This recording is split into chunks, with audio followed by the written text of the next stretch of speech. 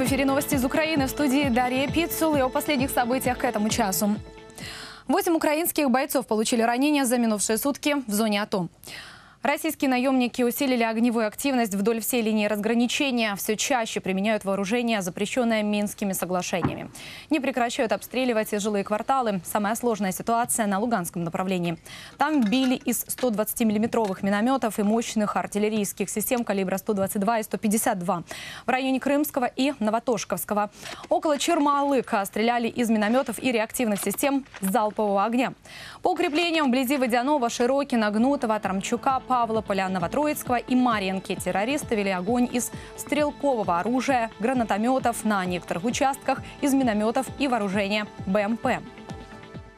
На Донецькому напрямку. Там минулої доби бойовики обстрілювали На Донецком направлении боевики обстреливали наши подразделения в районе Авдеевки, Каменки, Верхнеторецкого, Новгородского, Зайцева, Новолуганского и Троицкого. Оккупанты применяли стрелковое оружие, гранатометы различных модификаций, минометы калибра 82 мм, реже калибра 120 мм. Вечером российско-террористические войска накрыли огнем позиции вблизи Троицкого и ствольной артиллерии калибра 122 мм и 120 миллиметровых минометов, танковых орудий и средств поражения меньшей мощности. МИД Украины выразил протест из-за незаконной поездки российской делегации в аннексированный Крым. 5 июня группа высокопоставленных должностных лиц страны-оккупанта во главе с председателем Совета Федерации Федерального собрания РФ Валентиной Матвиенко посетили Крым, суверенную территорию Украины.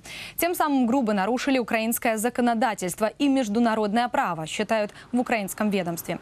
Подчеркивают, это демонстративное пренебрежение Кремлем государственным суверенитетом Украины, уставом ООН, резолюцией Генеральной Ассамблеи ООН, Бакинской декларации и резолюции Парламентской Ассамблеи ОБСЕ, обязательствами по двусторонним договорам и другим нормам международного права.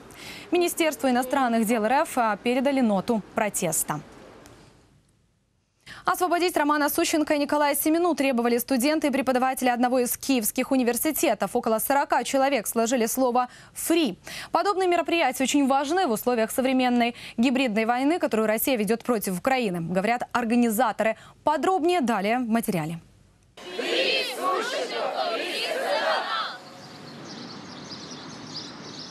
Так, студенты и преподаватели Киевского университета имени Бориса Гринченко выступают за прекращение преследования российской властью украинских журналистов Романа Сущенко и Николая Семены. В свободном демократическом государстве нужно отстаивать права а, своих граждан, и журналисты имеют право на свою профессиональную деятельность. В руках участников акции портреты Сущенко и Семены. Для них, как и для всей Украины, эти люди стали примером независимой и объективной журналистики. Я маю величезну надію, що Я очень надеюсь на то, что эта акция им поможет. Мы все надеемся, что увидев нашу поддержку, им будет легче пройти этот сложный и трудный период. и Семена, и Сущенко, как украинские журналисты, это символы нашей борьбы. Свободной, отдаленной от советского прошлого, от российского настоящего Украины. А, И поэтому мне кажется, что поддержать этих людей – это долг э, каждого украинца.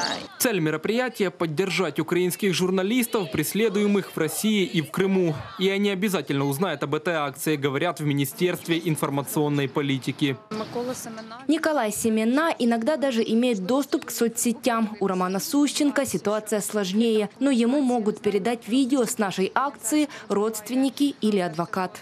Участники акции уверены на стороне украинских журналистов «Правда». Надеются, уже в скором времени Роман Сущенко и Николай Семена наконец обретут долгожданную свободу. Владимир Гросл, Игорь Каркадым, UATV. Президент Украины Петр Порошенко сообщил, что подписал закон о 75% квотах украиноязычного контента на телеканалах. Соответствующее сообщение глава государства опубликовал в своем микроблоге в Твиттере. 23 мая Верховная Рада проголосовала за эту норму. Согласно документу, 75% эфира национальных и центральных телеканалов с 7 утра до 10 часов вечера должны быть на государственном языке. На региональных телеканалах предусмотрена половина эфирного времени для украиноязычных программ.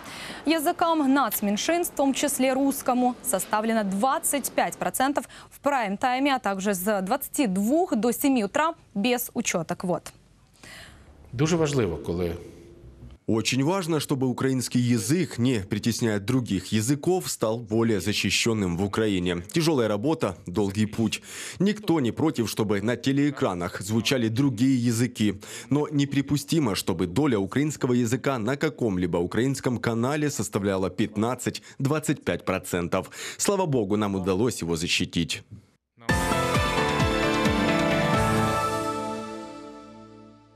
Постоянные представители Евросоюза согласовали дополнительные торговые преференции Украине. Об этом сообщили в пресс-службе Совета ЕС.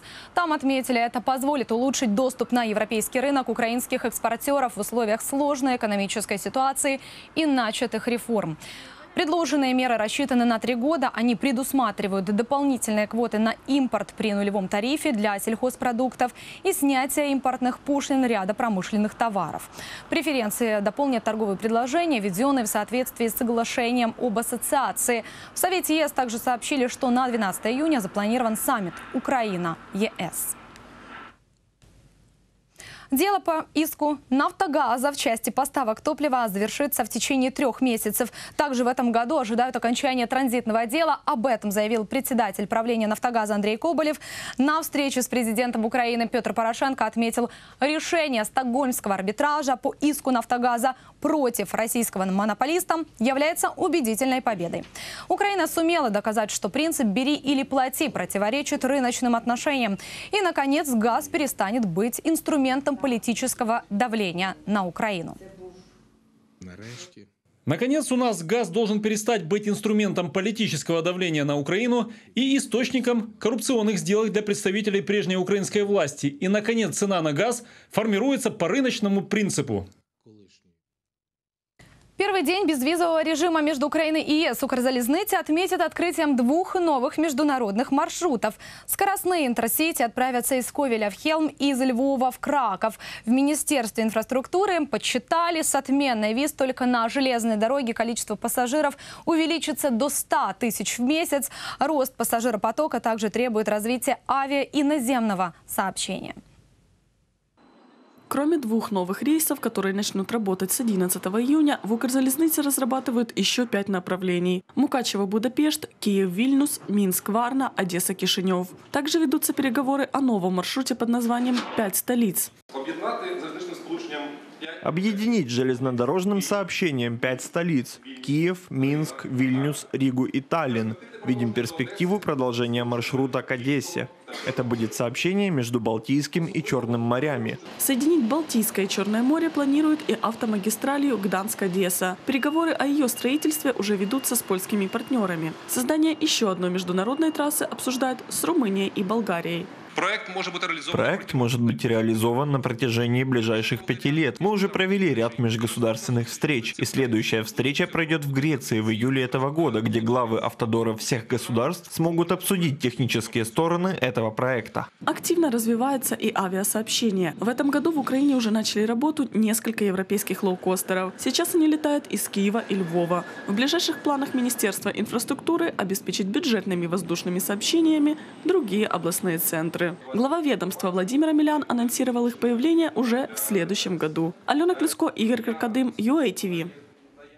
В Британии по делу о терактах на Лондонском мосту в ночь на 4 июня задержали 27-летнего жителя столицы.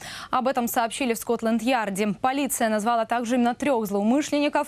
Это 22-летний Йосиф Загби, гражданин Италии марокканского происхождения, 27-летний Хирамбат, который родился в Пакистане и вырос в Великобритании, и 30-летний Рашид Редуэн, марокканско-ливийского происхождения. Ранее полиция отпустила 12 человек, задержанных в течение первых двух суток после теракта, без без предъявления обвинений. В результате трагедии на Лондонском мосту погибли 7 человек, 48 были ранены.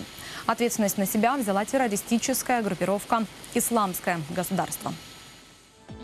На этом пока все. Будьте вместе с нами, следите за новостями с. Удачного дня и до встречи.